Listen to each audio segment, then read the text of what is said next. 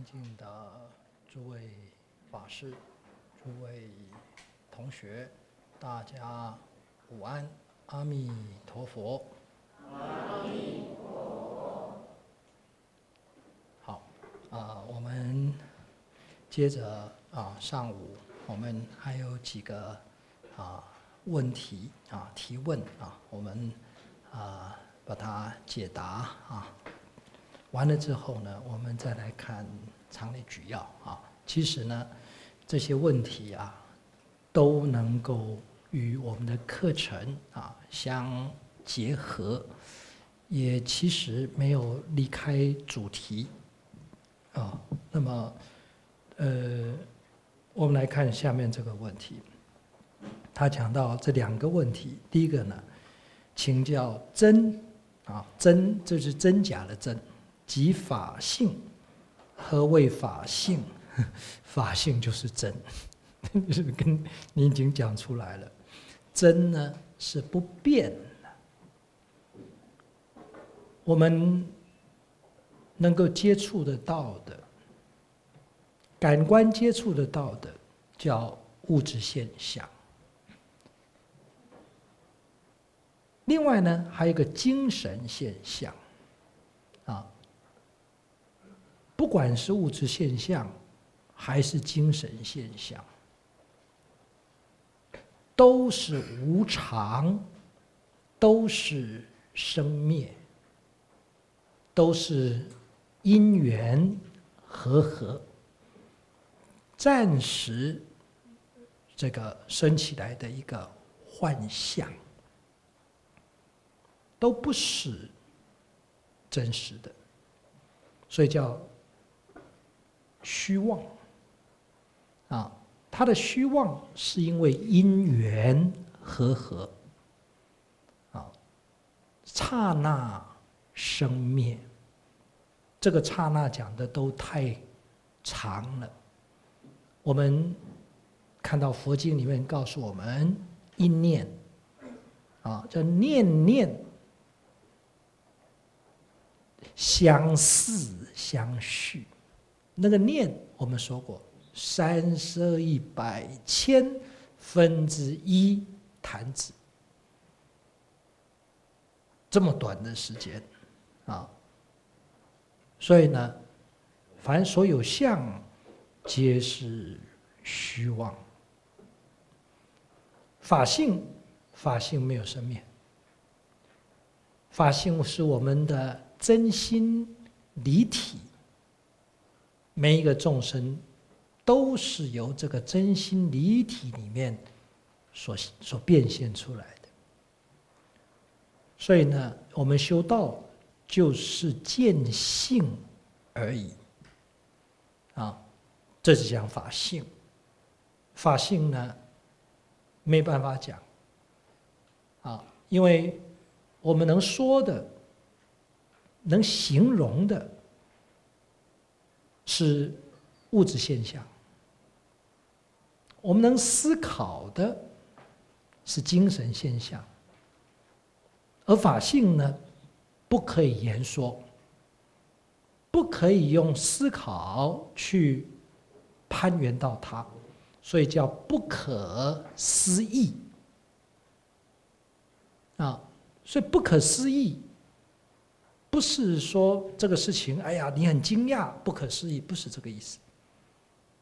不可思议是方法，也就告诉我们，你不思不意的时候，你能放下思意，你就能见性，你就见到他了。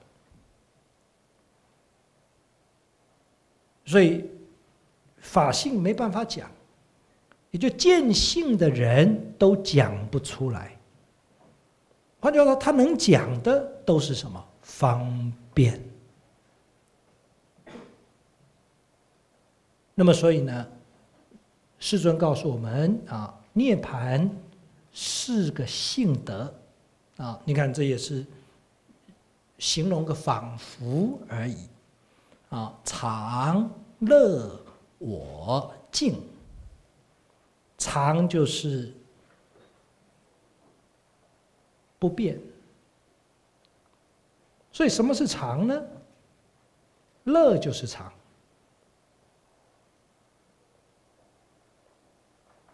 无常就是苦。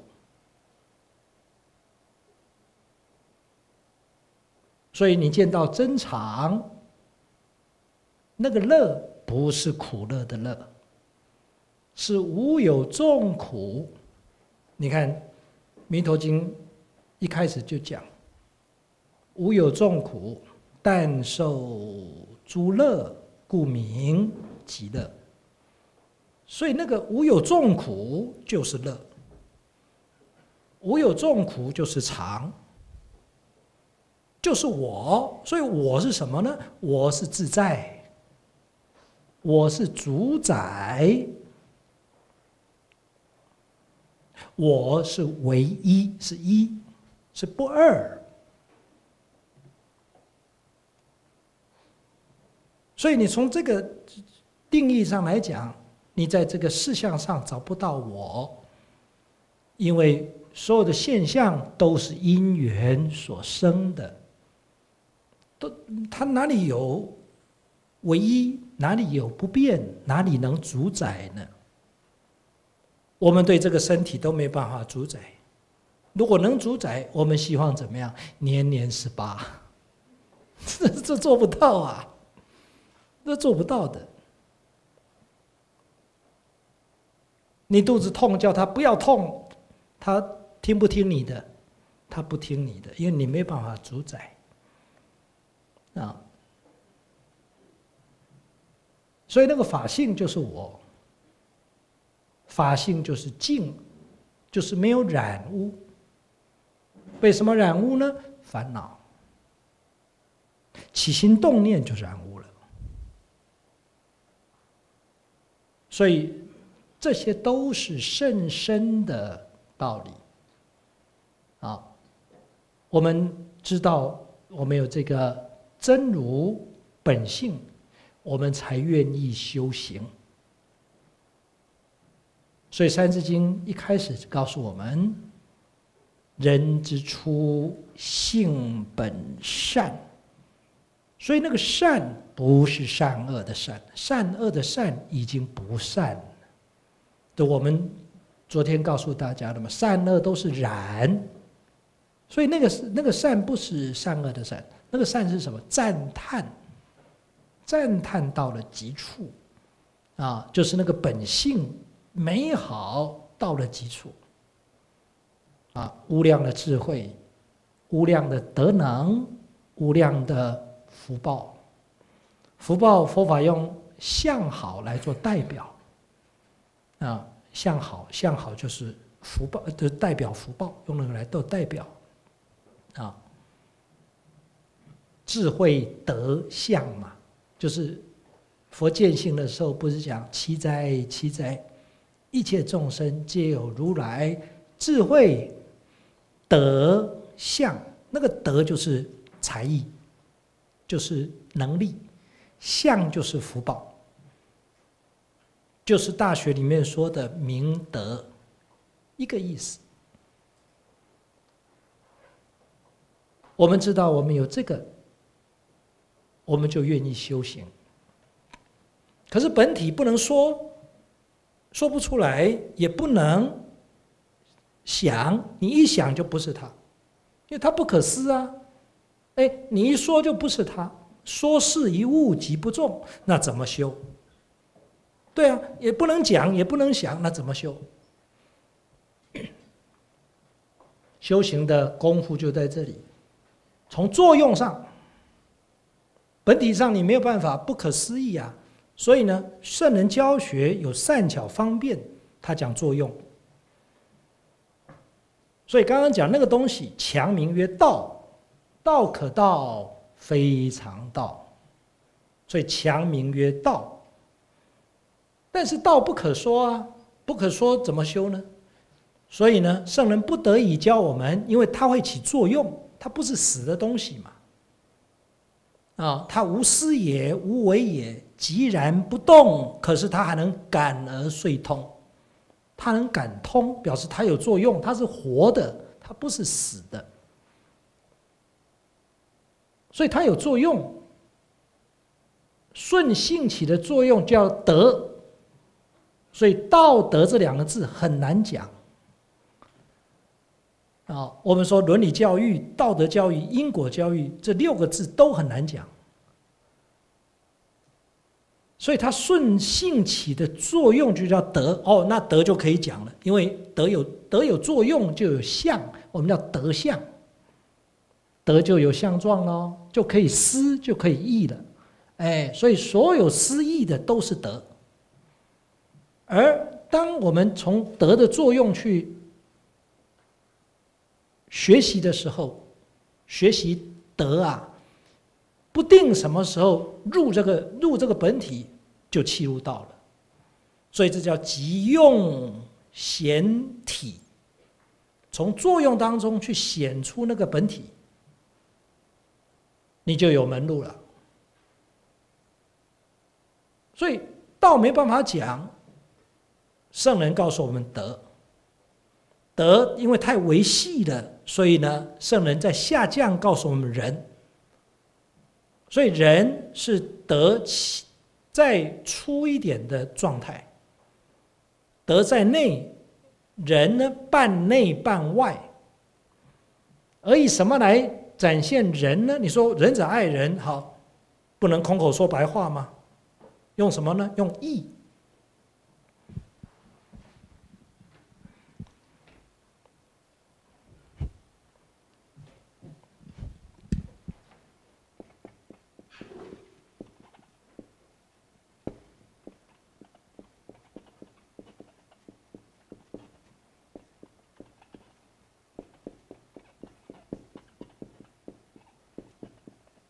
至于道，据于德，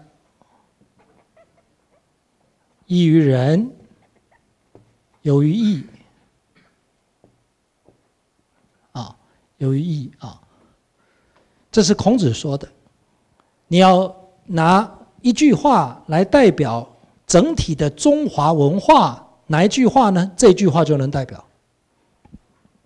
至于道，据于德，依于仁，有于义，都没有漏掉。完全没有漏掉，就是传统话讲的东西就是这个东西，啊，一个字都没有漏掉。道我们刚刚说的不可思不可议，哦，就是刚刚我们不是讲无思也，无为也。这孔子在对《易经》定本体的时候，他是这样子讲讲述本体的，他说他无私。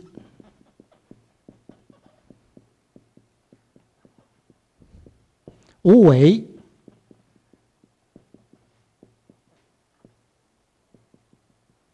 无思也，无为也，寂然不动，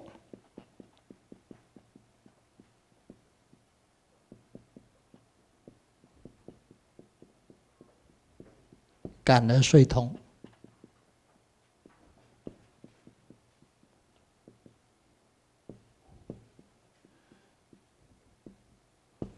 无私就是它不是精神现象，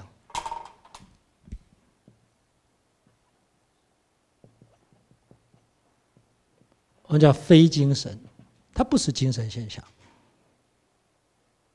这个本体不是精神现象，所以你想想不到。你说你让我想一想，你想什么都不是它。也就是说，你我们的心跑到的地方，就它就没有了。叫心行处灭，你心能够跑到的那个处所就不是它，因为它不是无，它不是精神现象。再来无为也，为是什么？为是造作，这个为就是作作为。你看这个笔是被谁做出来的？被人做出来的，创作出来的。所以人能创作的东西叫什么？叫精，叫物质。所以它非物质，它不是物质现象。所以，我们前五识眼、耳、鼻、舌、身能碰能碰触到的都不是他。第六意识能想的也不是他。所以我们六根接触，我们这个这这个六识接触到的六尘现象都不是他。你看，没办法讲了啊，也没办法想了啊。那怎么修？对啊，就是这个问题啊，怎么修？也不能讨论，也不能思维。对，你要进入这个状态，你就见性了。那进入这个状态怎么做？放下起心动念。那这个我们我们做不到，我们现在凡夫做不到。好，所以等一下有方法。所以它不是精神现象，它也不是物质现象。然后说它即然，即就是什么都没有，不动自性本定。哎这都是透露信息，告诉我们你要见性，一定要以定为什么枢纽，因为它不动啊。那它的不动是哪里不动？是身不动吗？不是心。法性啊，这就是法性啊。但是你说，那死人也不动啊，木头石头也不动啊，也即然呐。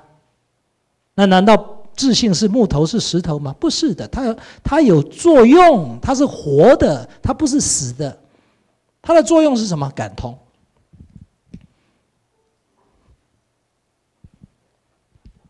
通是什么？通是无所不知，无所不能。无量的智慧，无量的德能，无量的福报就通。感就是众生有感，他会他会反应，他会起反应。这叫妙用，它的作用叫妙。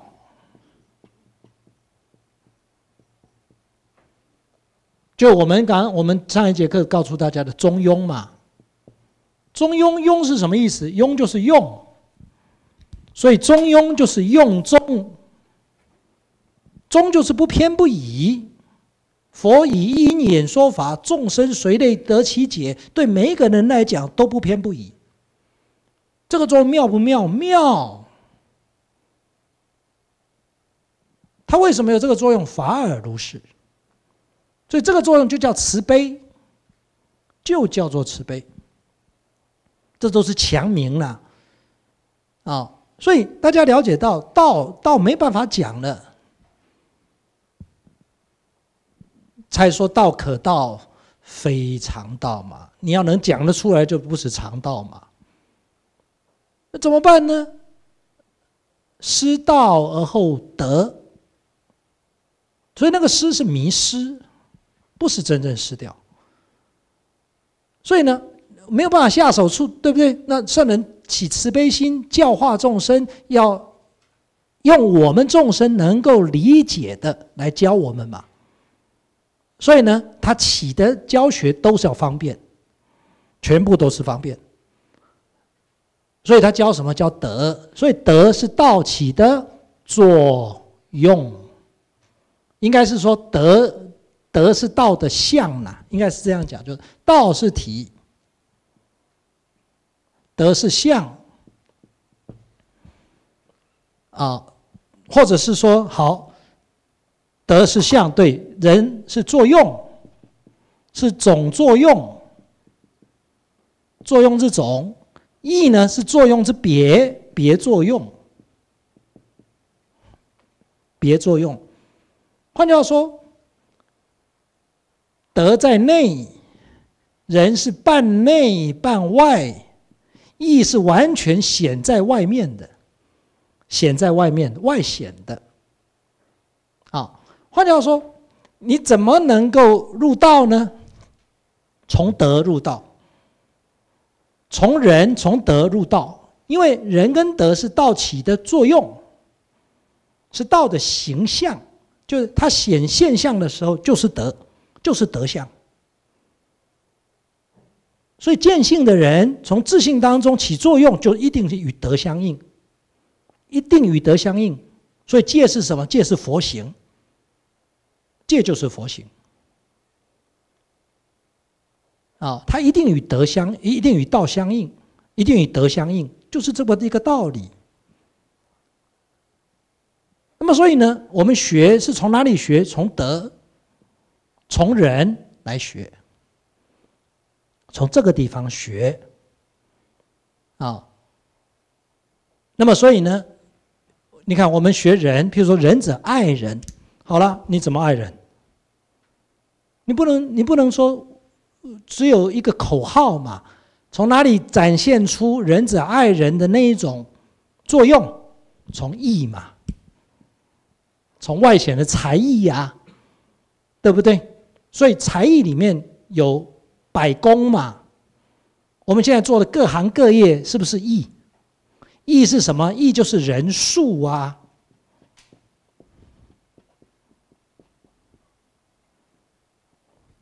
义就是人数。你看，我们到医院里面，我们看到一个匾额叫什么？人心人数有没有？所以那个医生那个医术叫人数哦。可是人数从哪里来的？从人心嘛。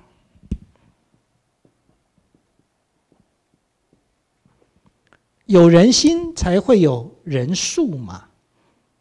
如果这个心不仁，这个树变成什么树？变害树嘛，害人的嘛。所以他那个手去杀人，难道是那只手坏吗？把那只手剁掉就好了吗？不是，是心坏。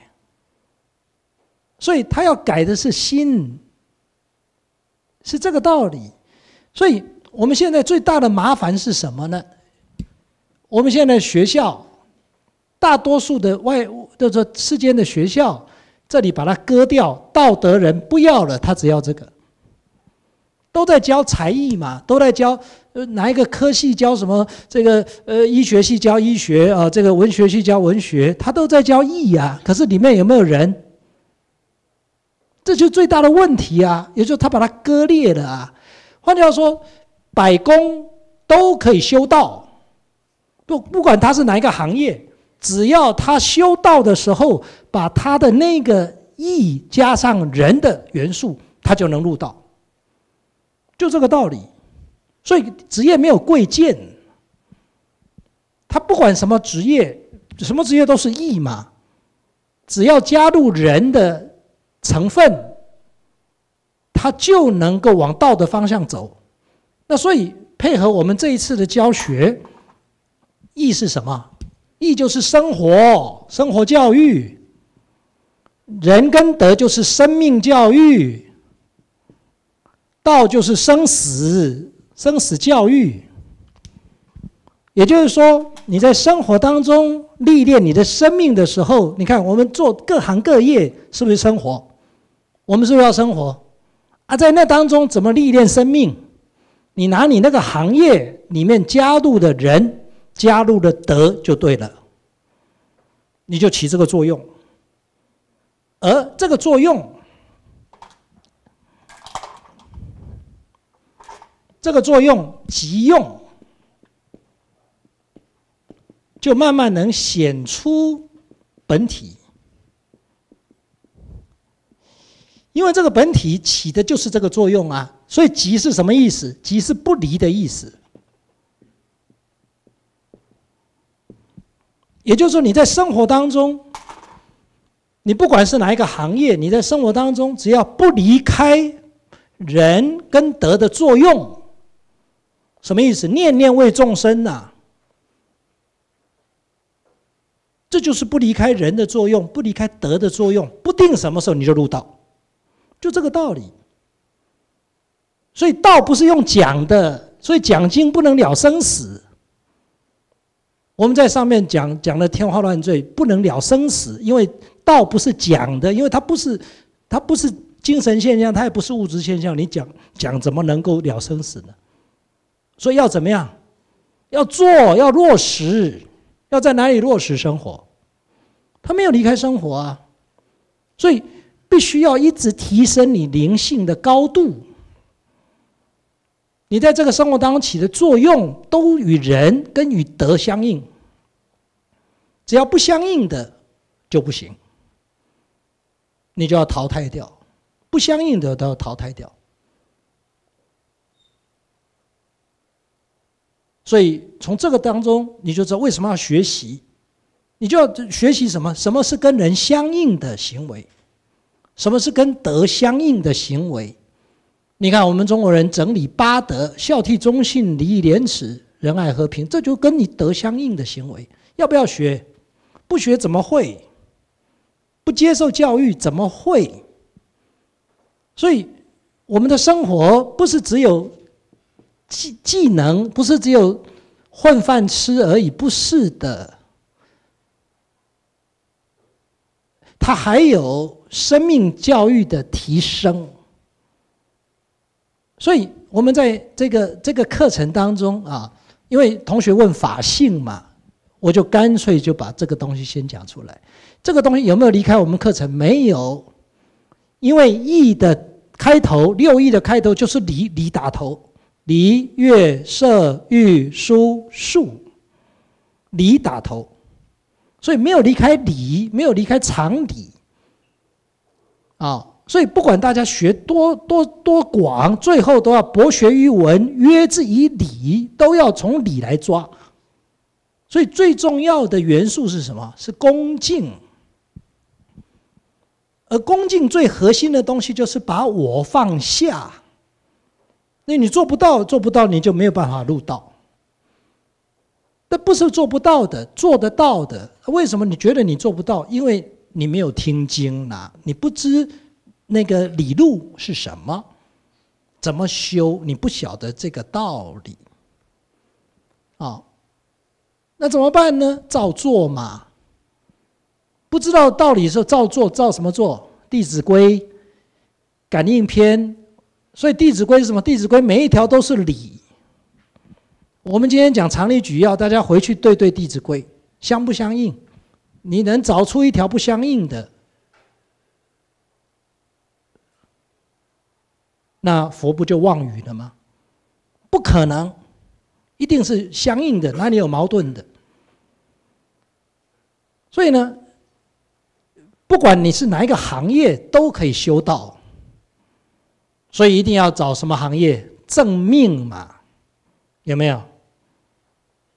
我们这个，你去读孟子，孟子有一个故事，他说，有一个人做弓箭，有一个人是做盾的。有个呃，对，一个是做矛的，一个是做盾的，两家生意都很好，两家生意都很好哦。可是两家以后的前途会不会一样？会不会一样？呃，生意都很好，都很赚钱呐。那为什么前途会不一样？为什么？因为做矛的那个人天天在想的是什么？哎，怎么研发出世界上最利的矛，可以穿过世界上最尖利的尖钝的盾？他天天在想杀人，而做盾的那个人呢，天天在想什么？哎，天天在想怎么救人。所以那个盾的做盾的就是人数，有没有？对不对？这样大家能体会吗？所以两个人生命的品质一不一样？不一样啊。怎么会一样呢？所以在用心，就是你的心在哪里？是善还是恶？还是然还是静？还是妄还是真？有没有？昨天不是讲这三个层次？好像没有讲过，怎么都没有印象？就转恶为善，转迷为悟，转凡成圣，是不是三个层次？是不是都是新的层次？对嘛？是，那那个新的层次是不是生命教育？对不对？在哪里历练的？生活嘛，在生活上历练的啊。最后要解决什么问题？生死问题嘛。就生死问题才能触碰得到道啊。你要没有触碰到，就说你要没有触碰到道，是跟生死是不相干的，跟生死不相干。那就是浪费生命，浪费时间，那就是人生难得，结果你把它给糟蹋了。所以中国文化就是讲这个。你说法性，法性就是这个道啊，啊，你叫我怎么讲？不能讲的。但是勉强要跟大家说，就要设施这些名相，是这个意思。啊，那么这个呢？学人就是说，我本来是想说讲到群书之要再来讲，哦，没关系，那就这个问题一问呢，就把它讲出来了。所以其实都没有耽误课程哦，哈，大家不要乱发现不要说，哎呀，这个问题怎么这么多哈，耽误课程？没有没有没有耽误哦，这个我本来都要讲的啊，因为这都很重要的概念。那跟理有没有关系？有啊，义的义的打头就是理啊，礼乐射御书数嘛，没有理什么都没有用了，义都落空了，因为没有理的话，它都跟人。跟德挂不上、扣不上关系，怎么可能入道呢？不可能的。所以修道绝对没有侥幸的，决定没有侥幸的，也没有偶然的，不可能。所以对道理一定要透彻。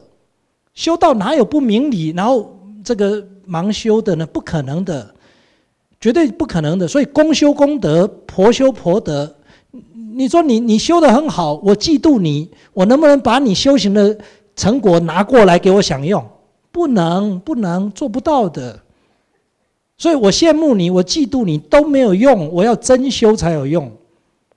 所以绝对不是说我们开铁药，然后我吃下去之后我就立刻就入道了。然后这个呃这个什么这个杨过这个这个遇到一个老人的，把六十一甲子的功夫灌给他，他就很厉害了。有没有这样？没有的，修道不是这样子的，修道要下真实的功夫，所以一定要听经。但是问题是，很多人说，哎，海贤的和尚也没有听经啊。对，没有错。孔子告诉我们两种人，有两种人教学不用寻次第，为上智与下愚不移。就是上上根跟下下根的人不用寻次第，我们不是这种人，我们是中间的那一群，所以我们必须要寻次第，不能劣等。所以老和尚开给我们的药方是什么？《弟子规》感应篇十三页道：先扎三个根。啊，然后呢，《三字经》告诉我们，这叫小学，有没有？小学中至四书，四书通孝经熟，如六经时可读。从四书到六经，从六经再到什么？经子通读诸史哦，不是经济明方读子有没有？然后经子通读诸史，次第啊。所以你要做学问，第一个就是小学，第二个就是四书，第三个就是经部的，第四个呢子部的，第五个呢史部的。而群书治要里面有什么？有经部的，有子部的，有史部的，所以群书治要是研究所的课程，就是我们经部都不懂，我们怎么读子部，怎么读史部？因为子部的不纯粹啊，史部的也不纯粹啊。你经部的的根要是不熟的话，你怎么判断子部跟实部？所以要寻次第的。那你说，那我不是读书的，没有关系。没有关系，你不要懂这么多，你只要找三个根扎好，然后呢，一句佛号，真心切愿，你也能解决问题。这是捷径，这都是捷径。所以你要懂这些道理，你不可能不念佛啦，你不可能不求极乐世界，不可能不求净土，不可能。所以就怕你不透彻，不怕你透彻。所以经教一定要很熟，一定要很深，但是还要依教奉行，一定要真修啊！你修一分，你就真实得到一分实得的啦啊！所以这个是提醒大家哦，就是很感谢这位同学问法性啊。第二个问题，请教。如何舍掉感受？这个问题啊，学人告诉大家，我们千言万语都在教这个。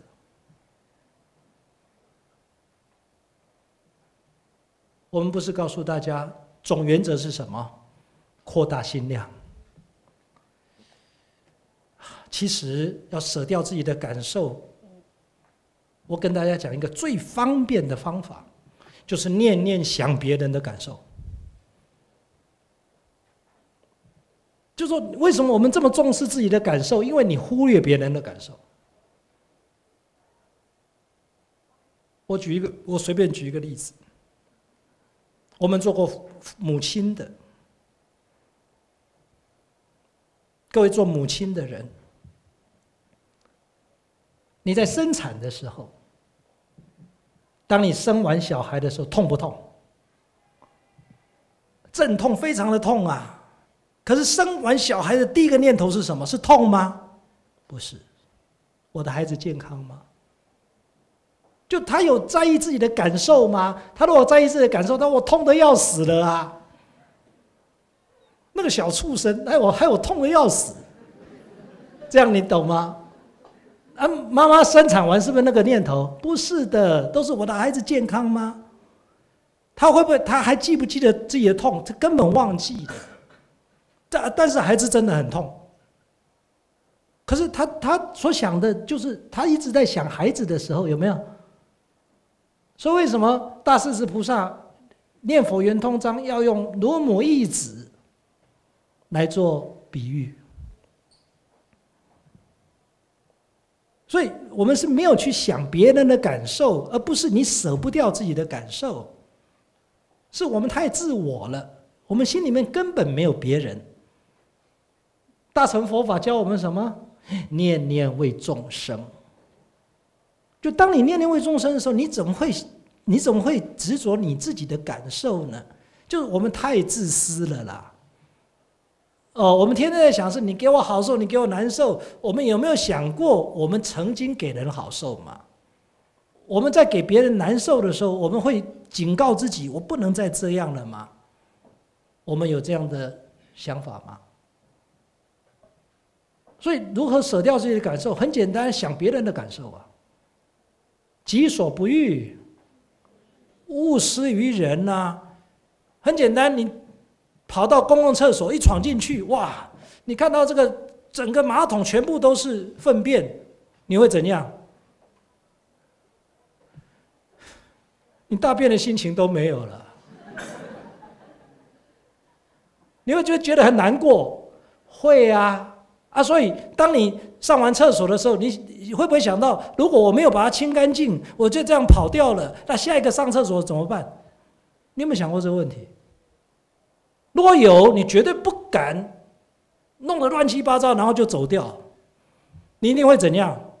把它清干净嘛，对不对？让下一个使用者进来的时候很舒服嘛。大家能理解吗？这叫己所不欲。勿施于人，所以为什么我们这么中意自己的自己的感受？因为你忽略别人的感受。大完了之后，反正这是公共厕所啊，反正下一个来的人也不知道我是谁啊，对不对？哦，反正这个这个这个我好受就好了啊，我还去清那个哦那个呃这个这个太脏了啊，我这个这个很干净啊。你在意你的感受，你就忽略别人的感受。你要重视别人的感受，嗯，我不可以这样，我一定要呃把它弄好，我再走。啊，我们坐火车、坐飞机，啊，那个椅子可以这样靠下来，对不对？问题是你很舒服，对不对？啊，后面那个人呢？后面那个人位置就变小了啊，他就要委屈啊，对不对？所以，如果我要很舒服，那后面那个人就要就得不舒服喽，可不可以？不可以。你就知道哦，这个位置已经很舒服了，不要再躺了。这样大家能理解吗？你想到别人，或者是说啊，你躺没有关系，可是呢，到站的时候怎么样？先竖起来，因为人家有的要你要过啊，要出站呐，你不能让他不方便。就你想到别人的感受，你怎么会在意自己的感受？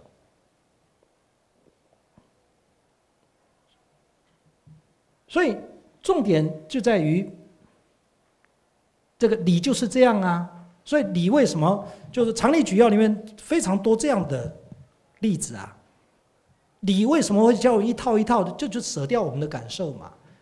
就你真正能够循理去做的时候。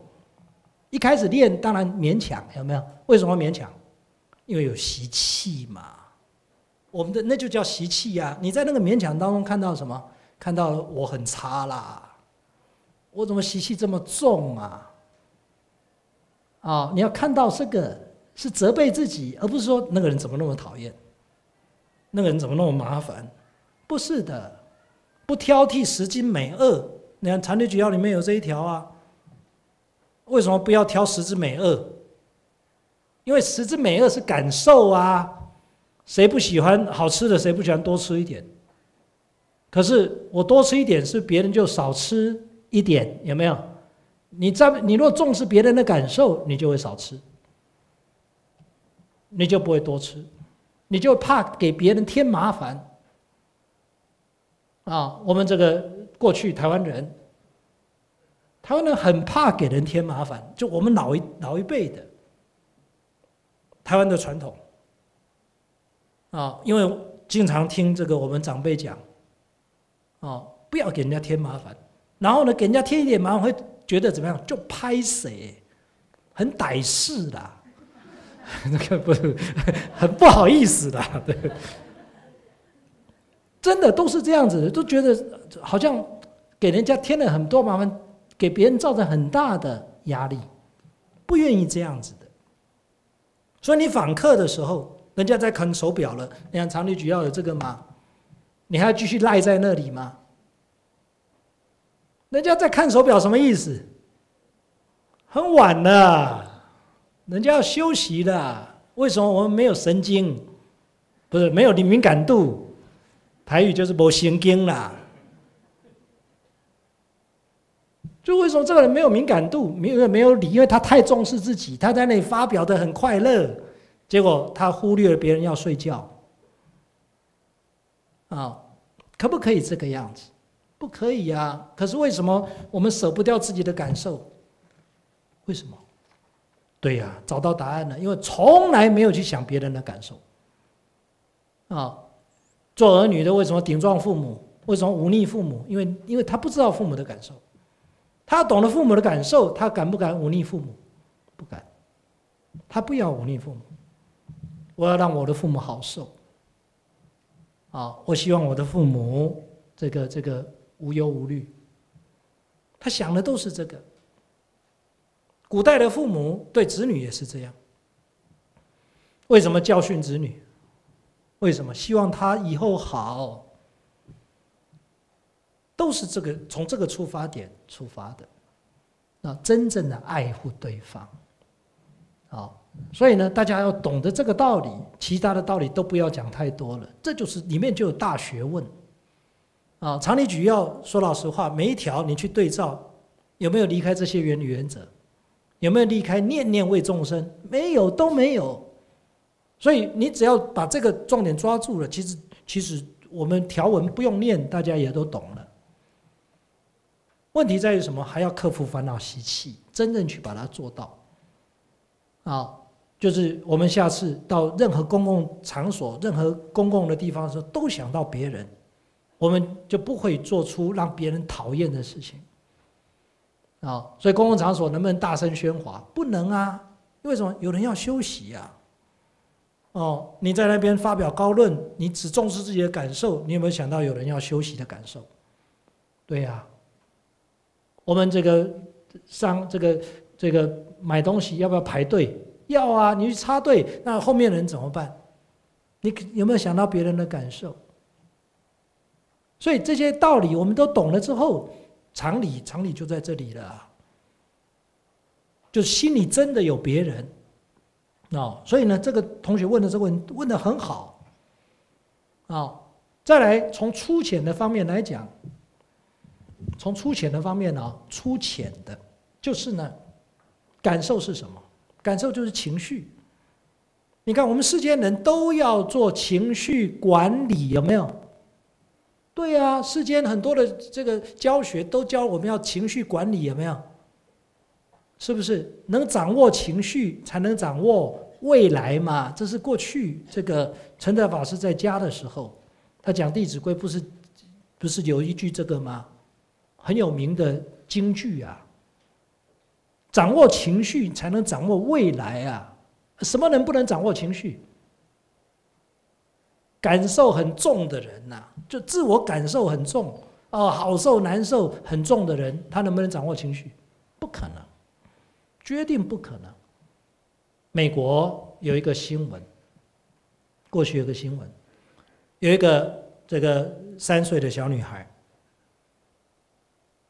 有一天，她在她爸爸的车子车子上面画这个，用石头啊，在车车子上面这个乱画，因为小女孩她不知道，她的爸爸一回来，看到这个车子，很生气。你看我的车子怎么被你画的这么花呢？很生气呀，怎么办呢？一他呢拿这个这个在这个车库里面有这个铁丝啊，就用铁丝把他的两个手绑起来，吊起来，气冲冲的跑去喝酒，跑到这个酒吧去喝酒，一喝酒忘了忘了这件事，所以那个小女孩的手就一直被绑这样，用铁丝缠绕。等到他的爸爸从酒吧回来的时候，发现这两这个小女孩的手怎么样发黑的，所以赶快送到医院，怎么样截肢？截肢。三岁，他从手术房出来的时候，恢复之后醒来的时候，举着两只手问爸爸：“爸爸，我怎么没有手？”他的爸爸非常的难过，非常的痛苦。拿枪，举枪自尽。好，这个故事，我要请问大家：这个爸爸自杀有没有解决问题？问题更严重，为什么这个女孩就变孤儿了？对呀，更严重啊！那为什么他会这样做？他的命运为什么朝向这个方向？为什么？情绪就是感受啊，是不是就是感受？他从头到尾都很在乎谁的感受？自己。他看到车被划花了，他什么感受？愤怒啊，对不对？其实车子是不是我？不是，是我锁啊。他知不知道？他有没有智慧知道这一层？没有啊，他没有智慧啊。他有没有智慧知道凡所有相皆是虚妄？他他有可能有这种智慧，他的心量有没有大到那种心量？没有啊，没有啊啊！他有没有想到小女孩的感受？也没有，因为小女孩很可爱啊。他拿石头画，他是在做什么？是在游戏呀。他有没有恶意？没有啊。但是什么东西障住了他的智慧？愤怒，愤怒障住了他的智慧。那接第二次，他看到女儿没有手了，什么东西又把他的智慧障住了？悲伤，悲伤也是情绪啊，所以又把他的智慧给障住了。所以这个这个愚痴的情绪牵引他去做什么？自杀。所以这一幕有没有其他的选项？有啊。比如说，他一进门看到他的车花了。他可以怎么说？哇，你画的真是非常的漂亮，你真有绘画的天才，可不可以这样？因为已经不能挽救了啊。然后再告诉他，哦，以后要画在画布上，不可以画在这里，可不可以这样教他？可以啊。这就有其他的结局了，生命不就有其他的选项了吗？这不就是命运吗？就命转变命运在转变什么？是不是就是转变情绪？这是不是就智慧？是不是就是与智慧相应的生活？对呀，为什么不这样做？就是我学完这个故事是用一个张力很大的一个一个结局来告诉大家，其实我们的人生每一天都面临这种抉择。你跟人事物相处的时候，都面临你到底是要用感受还是要用理智，都面临这个都都面临这个抉择啊，有没有？你与人相处，与事相处，就是缘跟事嘛，就是近缘嘛。所以为什么近缘无好丑？好丑起于心。那个好丑起于心，那个就是你的感受嘛。近缘哪里有好丑呢？境是人是环境，有恶缘，有善缘；物质环境有顺境，有逆境。所以顺逆皆佳境，善恶贤良缘，那是谁？那是有智慧的人，那是他的生活跟他的生命结合在一起，已经历练出一个高度品质的生命。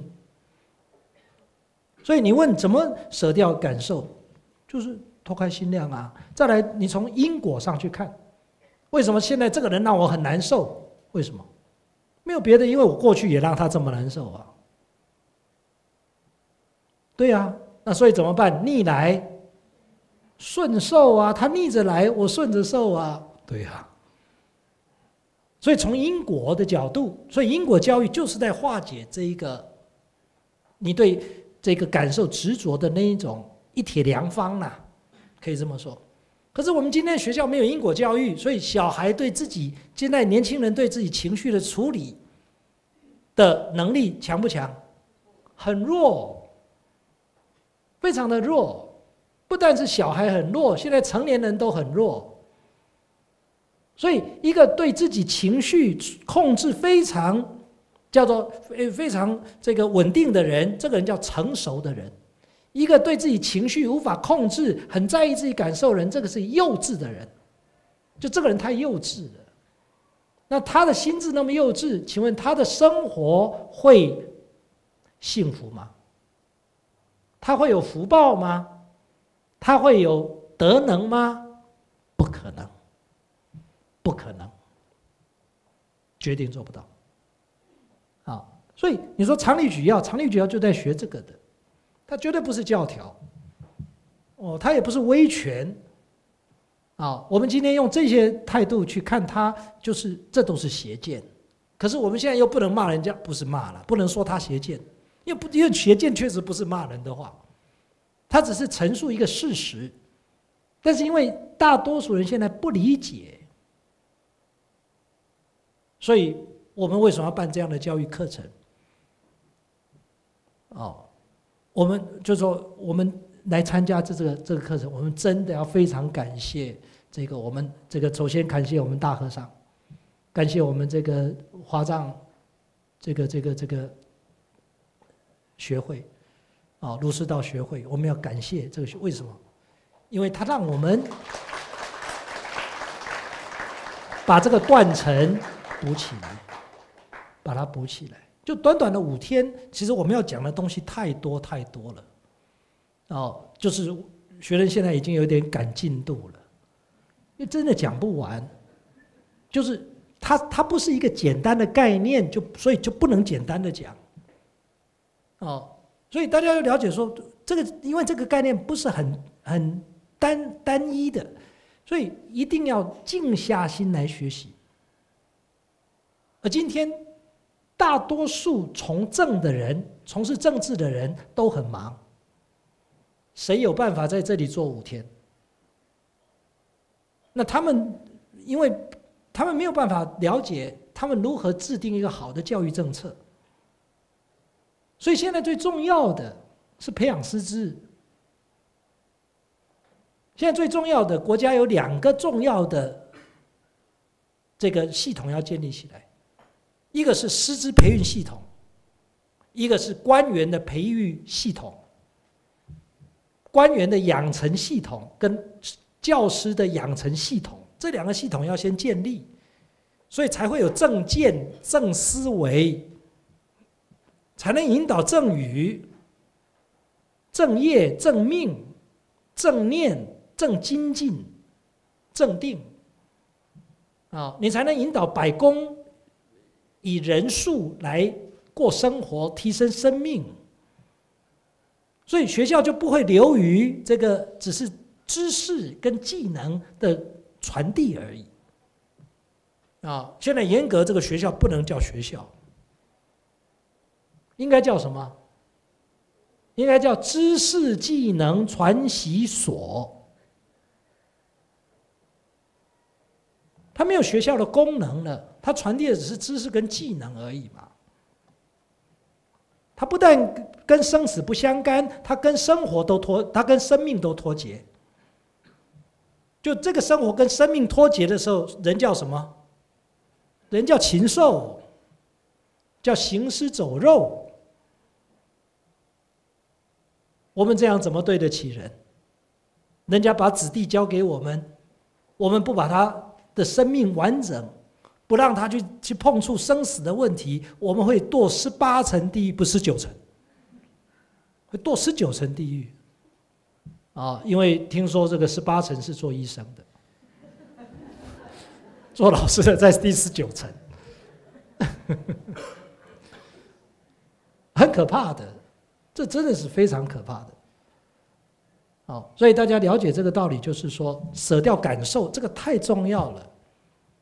啊，修行你这感受舍不掉，你不可能入门的，就还差得很远呢。色受想行识，差得太远了。啊，所以除非你不想修行，但是不可能，因为你没有修行，没有出路啊。所以你只有一条路，就是舍掉感受，不要执着自己的感受。啊，那么从什么地方开始做起？从放淡。我们给大家两个字，一个是让，有没有？一个是淡，淡化。从淡化进入到完全舍掉，让。所以要在生活当中练，历练。在家庭里面，先练财务轻，怨和生，言语忍，愤自泯。所以呢，两个人为什么吵架？少说一句话就不会吵架。所以夫妻之间要开始吵架的时候怎么办？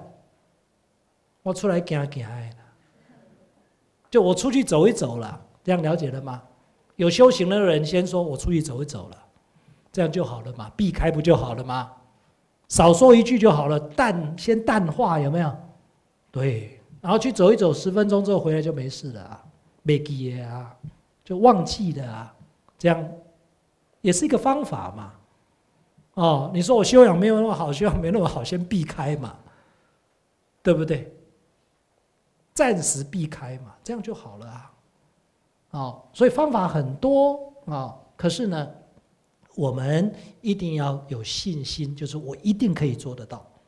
你要没有信心，你一定做不到。啊，所以这是这个问题很好啊，这是问的很好。再来呢，有个问题啊，他说：善谈心性者，不弃离于因果；深信因果者，终必大明乎心性。啊，这解释这两句话，其实。我们刚刚在讲心性，我们其实已经讲了这个问题，就是我们讲道，道不是道可道非常道，有没有？这个道叫做真空，然后真空因为它能显能起作用，所以叫真空不空。然后呢，这个起的作用叫妙有，那妙有又是假的，所以叫妙有非有，这叫就谈玄说妙啦。这叫善谈心性啦，可是有没有用？没有用啊，因为它是在作用上面，即用来显体，对不对？所以善谈心性者，能不能弃于因果？事项上的因果不能啊，因为你必须在作用上即用去显本体呀。所以善谈心性还不能，能不能弃离于因果？不能，因为它是从作用当中去显本体的，所以一定要在生活当中去怎么样去磨，往往都是磨得很辛苦，磨得很厉害啊！为什么磨那么辛苦？为什么？因为我习气很重嘛，要起惭愧心啊。所以能不能离于因果？不能，还是得在因果上好好的修。然后呢，深信因果者，就是作用上面好好的在人跟德上面好好下功夫，必大明乎心性，就是他能显体嘛，就这个道理啊。所以这个问题就我们就讲过去了。下面这个问题，好。啊，这个问题是网络上的一个问题。啊，他说呢，这个善恶如果不能抵消，那命运如何被转？行善为什么可以转命？其中的原理是什么？善恶不能抵消，啊，就像种子，啊，你比如说，这个古代有个公案，有一个老和尚，他就教这个小沙弥呀，他说呢，这里呢有一包，有两包种子，这一包种子。啊，有呃有一包种子，这一包种子是就是那个我们讲这个荆棘的种子。那你这两片土地啊，你把这个种子撒下去，其中有一片土地你给它灌溉浇水，另一块土地呢，你每天去把它踩踏，然后浇石灰，然后不要浇水。结果呢，到了某一个呃这个这个只过了好几天啊，你看。这个浇水这一个这一块地是不是发芽了？对不对？浇石灰的去踏它的那个就没有发芽，没有浇水是没有发芽。那么过了一个月之后呢？哎，这个你看荆棘就长出来了，有没有？啊，这个没有灌溉的这个荆棘是没有长，对呀。那他就告诉这个小沙弥：你看啊，我们的恶念，恶念就像这个荆棘的种子，如果你一直浇灌它。你用什么在浇灌它？用相续的恶念，对不对？相续的恶念在浇灌它，它是不是就会发芽？然后这里虽然你下了那个恶念的种子，但是你不浇灌它，你不用相续的恶念去浇灌它，它是不是就不长？对不对？它自然就不长了。对呀，所以改变命运的方法就是像这个比喻很好，就是。你为什么一直行善就能改变命运？并不是你把恶的种子抵消了，不是的，而是你让善的种子一直发芽。但恶的种子是不是还在那里？对，还在那里。或者是说，恶的种子已经发芽了，已经长了，但是你开始不给它浇水，它是不是就会枯萎？是不是就会烂掉？对呀，这这个就是善恶不能抵消啊。可是行善会改变命运，就是这个道理啊。所以这是很浅显的道理，啊，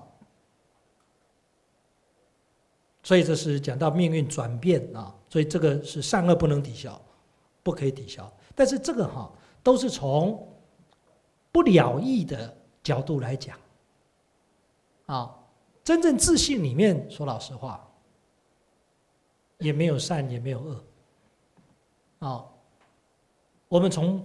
不了义的角度来讲啊，所以呢，这个哈很比较深，我们呢你就听那个你懂的那个部分就好了。哦，第二，如何观察自己内心的状态是善多恶少，还是恶多善少？其实哈这个问题也很重要。这个问题其实就是《了凡四训》里面啊。善恶哈，那个呃，这个云谷禅师不是云谷禅师，这了凡先生讲三个数八对吗？所以分辨善恶容不容易？很不容易哦，很不容易哦。可是中公禅师他的开示有没有告诉我们怎么分辨善恶？凡是有利于人的就是善，有利于己的是不是就是恶？所以是不是刚刚？学人一直说的那个，就是说，我们念念想自己的感受，这就是恶哦。你要能想别人的感受，善的，那就是积功累德。所以呢，所以这里告诉我们，善恶就是一个是想自己，恶是想自己。善就是念念想别人，为别人着想，想要利益别人。好了。你懂得这个分辨之后，那你就要看你一天下来有多少念头是为自己，有多少念头是为别人，那不就善恶多少，是不就知道了吗？对呀。所以为什么我们不知道自己善恶有多少？是第一个，因为我们连什么是善，什么是恶都不知道。第二个，你连善恶都不知道，那你怎么会知道你现在的起心动念是善还是恶呢？所以这这种人生是一种什么人生？是一个糊涂的人生，愚痴的人生，是一个醉生梦死的人生。这样的生命品质会高吗？不可能。可是我们从小到大的教科书里面，从来没有一本教科书教我们什么是善，什么是恶。那我们怎么期待我们现在教出来的小孩知道善恶？你怎么期你怎么期待这件事情？那你弄得他善恶不分，他浑浑噩噩的过日子，这个社会会好吗？不可能嘛！就你将来的政权就要交给他呢。哦，这个政权我们没有嘛，对不对？我们讲的更实际一点，哎，你是爸爸妈妈哈，以后你要死在谁的手上？你要死在你儿子手上了，听得懂吗？听不懂？他怎么帮你帮？他怎么帮你办丧事？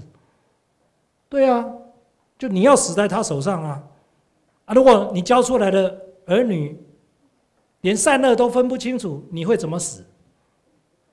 你会死的很难看。我都我讲的都不是诅咒人的话，都是一个平铺直述的事实。可是我们每一个人好像都在走这一条。很不好的路，因为先人不善，不是道德，无有愚者，殊怪也。可是你不怪他，可是他都他你还是要走这条死路，你会觉得舍不得啦，觉得很很舍不得这样的事情。啊，所以年轻人一定要发愿。人生做一件最重要的事情，就是弘法利生，把这个福音你要传到全世界各地，这真的是福报的声音呐。所以呢，我们这里有这么多的年轻人，大家一定要发一个大愿。虽然这条路很漫长，可是很有价值。啊，你做你这一生做这么一件有价值的事情。你的生命没有白来，你的父母将会为你而感到荣耀。啊，这就是什么呢？这是立身行道，扬名于后世，以显父母，这就是最大的尽孝。好，那么所以这个是讲到这个善多恶少，你怎么去观察？你一定要先认识什么是善，什么是恶，还要关照自己的心念。然后你才能知道，我今天是善多还是恶多，是佛念多还是妄念多。啊，你能知道，你就知道自己的前途去处，因为可以预测嘛。因果是可预测性的，所以自己能不能往生，要不要问别人？对吗？有人就问老和尚说：“老和尚，你看我能不能往生？”老和尚告诉他什么？你一定不能往生，因为你糊涂啊。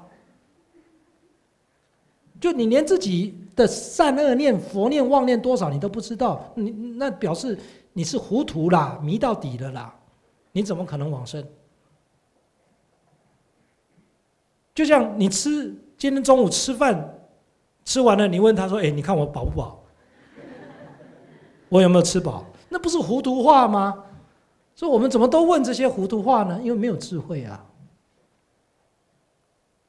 啊，所以开智慧很重要，非常的重要。好，往下看，第三题，他作恶果报感受到痛苦的时候，应该怎样减轻痛苦？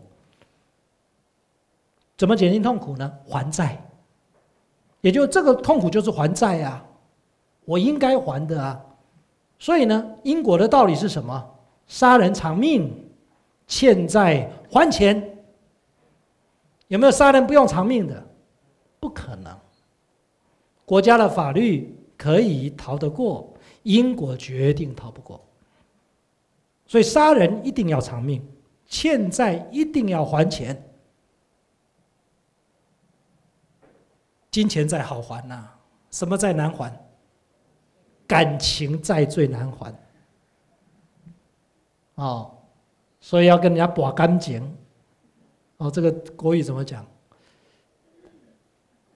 纠缠感情啊，哦，那个不好啊。我们跟人以法来做什么？来做媒介，结法缘，把家亲眷属都转成法眷属，这就吉祥非常吉祥。所以恩爱夫妻怎么办？我告诉大家，约他去极乐世界相会。对恩爱夫妻，就是我们一定要离开啊，没关系，我去那里等你，或者你先去，你到那里等我，我们在极乐世界再继续约会。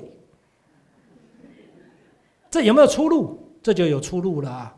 哎，不然没有出路呢。人在爱欲之中会怎么样？独生独死，独去独来，苦乐之当无有待者。呃，真的就没有出路啊！所以有极乐世界真好。对啊，就有出路了啊！你看家亲眷属都可以到极乐世界团圆啊，不是很好吗？对呀。所以很多人说：“哎呀，迷信什么等等的。”我告诉大家。就如果就很简单的道理去讲，很简单啊，我们每一个人最终的结局是什么？死啦，是不是死？好，如果没有方案，如果没有方案啊，对一个老人来讲，他的生命叫什么呢？叫黄昏事业。黄昏呢？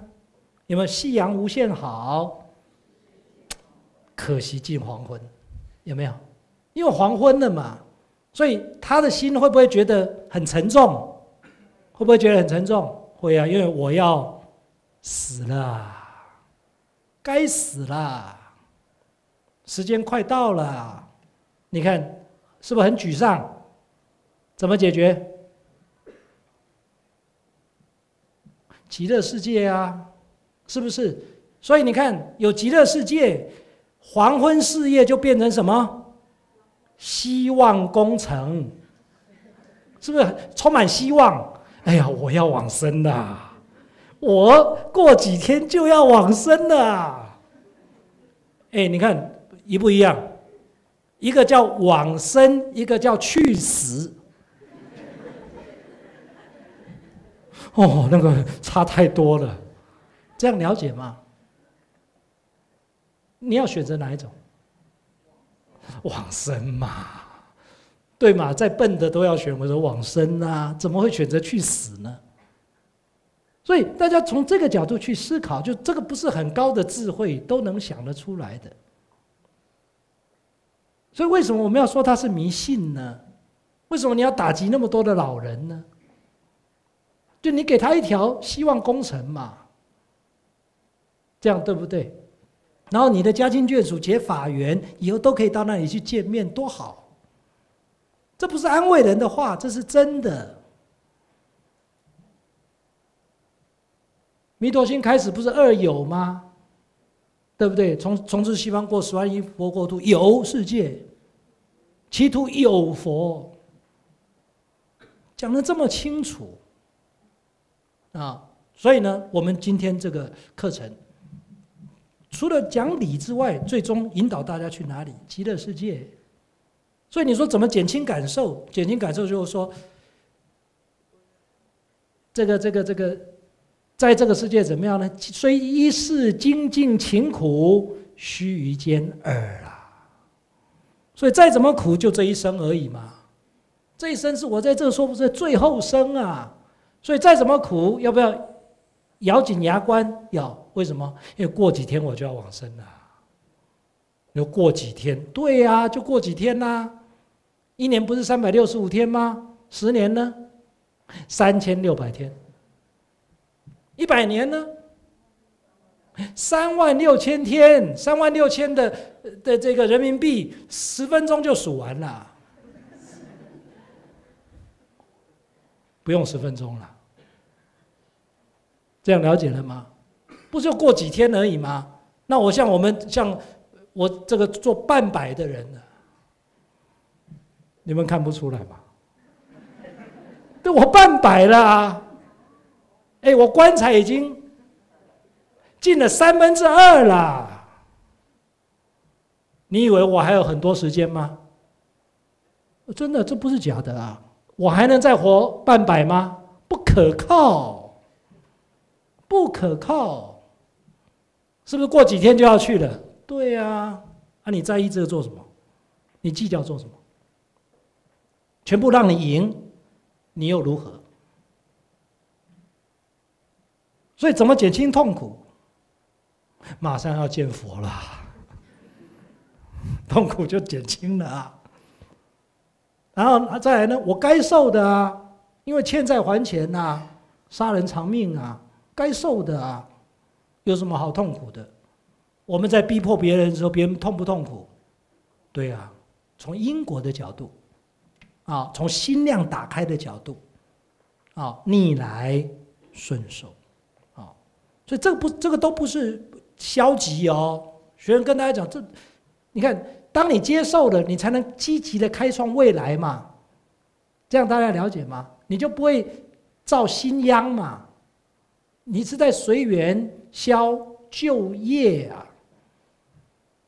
所以哪是消极呢？这是很积极的作为哦。啊，第四个，感受到果报的痛苦的时候呢，要如何来对待？这个是同一个问题，就是呢，用因果来对待。啊，用这个须臾间耳来对待，就就是我们在这个世间该还的，我们要还。所以在这个世间要善了因缘，让一切的因缘要了得很善。啊，父子的因缘了得很善，夫妻的因缘了得很善。啊，乃至于有君臣朋友的因缘都要善了，怎么样才会善了？怎么样了才会善？敦伦敬分。啊，你敦伦敬分，对方不敦伦敬分，你善了，他不善了，他继续搞六道轮回。啊，我要不要觉得很痛苦？不需要，因为我到极乐世界，我随时可以回来帮助他。这是讲真的，所以你就不会急躁了。啊。所以逆来顺受，啊，我们看这个下面这个问题，他因为呃四年前啊压力太大，没有办法排解，导致精神错乱，被医生判定精神分裂症，需要吃药。请教老师，因为父亲的言语很刺伤我，啊，又没有身教，让我很难信服，内心里面感到痛苦。我应该如何去转念和学习呢？平常应该如何修学？要在哪里修学呢？其实啊，精神上的疾病都是因为没有办法排解负面的情绪而来的。而负面的情绪，第一个会造成我们身体负能量的累积，负能量的累积会让我们虚虚耗啊。身体就会比较寒，比较虚，邪的东西就会趁虚而入，就很容易产生精神疾病。趁虚而入，大家听得懂吗？有的是附体，有的是受众生的干扰，那么他就像阳气很重的人啊，他就不会有这些问题；正气很凛然的人不会有这些问题。像这个大和尚在这里跟我们讲几个公案有没有？啊，有一个这个这个这个这个，他不是去住在那个鬼屋吗？那个鬼进来的时候，头披头散发，舌头吐出来。他说：“嗯，头发只是比较乱而已，舌头只是比较长而已。”他那个头拿下来，他说：“有头我都不怕了，何况无头？”那个就正气非常足的人，大家能理解吗？那个邪就侵不了。结果这个鬼弄了老半天没意思啊，怎么样就走了？他是没意思就走了，对呀。所以这样的人怎么会得精神病？不可能的。所以你要知道，你的精神的耗弱是来自于什么地方？是因为你太虚了。而你为什么这么虚？因为你的负面能量太重。所以呢，发脾气是害谁？是害自己，也就是说，你对你父亲的不能谅解，其实是你自己没有办法处理你的情绪产生的问题，不是你父亲有问题，因为你跟你父亲是姻缘，注意是姻缘。佛法讲姻缘，就为什么我生下来这个就是我爸爸，这个就是我妈妈？为什么？姻缘。有一次我跟我太太，这个跟一个出家人在请教，我太太就问这一位师傅，他说：“师傅，你为什么出家？”师傅怎么说呢？师傅指着我，他说：“你为什么嫁给他？”师傅反问他：“哎，注意哦，师傅很有智慧哦。哎，这两个问题是两个问题吗？是一个问题。”然后师傅就告诉他说：“你会嫁给他是姻缘，我出家。”也是姻缘呐，这样理解了吗？所以我为什么被你生到？是几个问题，还是一个问题哦？因缘嘛，就是因缘呐。你有什么好怨的？对啊，他嫁给我，我有什么好怨的？因缘呐。他如果跟我没有因缘，根本不会相识，连在路上这样这样走过去哈。这样走过去，一面都有资源呢，也就这样走过去都有因缘，在一个同一个巴士上面坐都有因缘，所以能不能怨，就在那个缘当中，要不要加入任何的情绪反应？不需要，善了就可以了，敦伦敬分就可以了，这样大家能理解吗？所以学佛就是学这个。所以你看，胡小林居士也有过去也有精神的疾病啊，他怎么好的？吃药吗？不是，他是听到师父上人讲“印一着，莫非前定”，他就放下了，病就好了，没了。所以问题很简单，你说在哪里修学？你家里就可以了。那你说我家里那个磁场不好，没关系，你暂时可以离开。但是我说是暂时，但是不是因为你排斥，因为你对立而离开，不是这样理解吗？啊，所以平常应该怎么修学？放下，学习放下。好，时间到了啊，还有一个问题，啊，这个问题呢，我回答的其实还没有很完整，晚上我们再说。谢谢大家，好，下一节课再说。谢谢大家。